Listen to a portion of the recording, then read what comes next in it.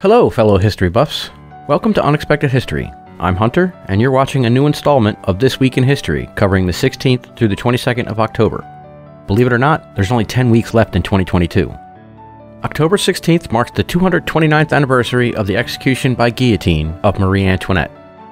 Infamous Chicago gangster Al Capone was convicted of tax evasion 91 years ago on October 17, 1931.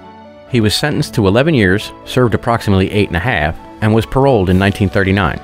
He never did regain control of his criminal empire, largely due to his mental incapacitation from gonorrhea and syphilis.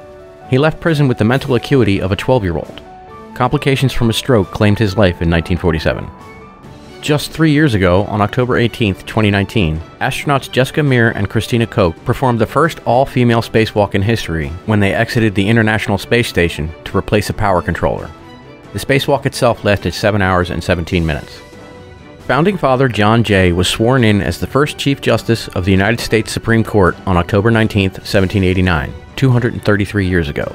He served on the nation's highest court for not quite eight years, he retired to his farm in New York after declining a second term as Chief Justice, although not from politics. After the Supreme Court, he was elected the second governor of the state of New York and served six years, afterwards again declining a second term. He passed away on the 17th of May, 1829, from complications of what is presumed to be a stroke suffered three days earlier. October 20th is the 45th anniversary of the plane crash that claimed the lives of three members of the band Lynyrd Skynyrd, along with the pilot, co pilot, and the band's assistant road manager. 20 other occupants of the Convair CV-240, including the rest of the band, suffered serious injuries but survived. 225 years ago, on October 21, 1797, the USS Constitution was launched in Boston Harbor. The 44-gun, three-masted wooden-hulled heavy frigate was retired from active service in 1881 and now serves as a museum ship primarily moored in Boston. She is still a fully commissioned ship in the United States Navy and is also the world's oldest ship still afloat. On October 22, 1383, 639 years ago, Portugal's King Fernando died without a male heir, ending the House of Burgundy's dynasty and sparking a two-year civil war that eventually saw King John I take the throne, beginning a new dynasty and ensuring Portugal's continued independence.